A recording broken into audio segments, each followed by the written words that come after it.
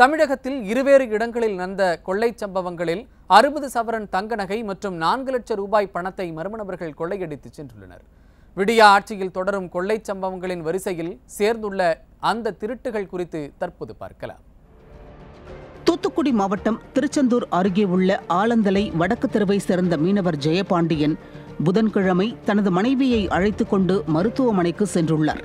இரண்டு மணி நேரம் கழித்து அவர்கள் வீட்டிற்கு திரும்பிய நிலையில் வீட்டின் பின்பக்க கதவு திறந்திருப்பதைக் கண்டு உள்ளே சென்று பார்த்தபோது வீட்டினுள் இருந்த பீரோ உடைக்கப்பட்டு பொருட்கள் சிதறி கிடந்துள்ளன. மேலும் பீரோவில் வைக்கப்பட்டிருந்த நாற்பத்தைந்து சவரன் தங்க நகைகளை மர்ம நபர்கள் கொள்ளையடித்து சென்றிருப்பதை அறிந்து திருச்செந்தூர் தாலுகா போலீசாருக்கு தகவல் அளித்தனர். சம்பவ இடத்திற்கு கைரேகை நிபுணர்களுடன் வந்த போலீசார் கைரேகைகளை சேகரித்ததோடு திருட்டு சம்பவம் குறித்து விசாரணை மேற்கொண்டனர். பட்டப்பகலிலேயே அரங்கேறிய இந்த கொள்ளை சம்பவம் அந்த பகுதியை சேர்ந்தவர்கள் மத்தியில் அச்சத்தை விதைத்துள்ளது.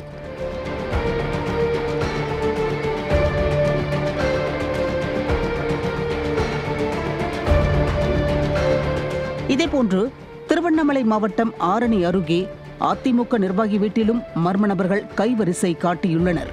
ஆரணி டவுன் கேபிகே நகரை சேர்ந்தவர் ஆனந்தன்.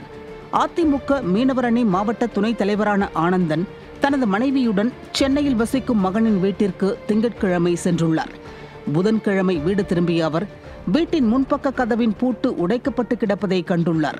உள்ளே சென்று பார்த்தபோது பீரோவை உடைத்து அதிலிருந்த பதினைந்து சவரன் தங்க நகை வெள்ளி பொருட்கள் மற்றும் நான்கு லட்சம் ரூபாய் ரொக்கப்பணத்தை மர்ம நபர்கள் கொள்ளையடித்து சென்றதைக் கண்டு அதிர்ச்சி அடைந்துள்ளார் கொள்ளை சம்பவம் குறித்து ஆரணி காவல் நிலையத்தில் அளித்த புகாரின் பேரில் வழக்கு பதிவு செய்த போலீசார் கைரேகை நிபுணர்களோடு வந்து தடயங்களை சேகரித்து மர்ம நபர்களை தேடி வருகின்றனர்.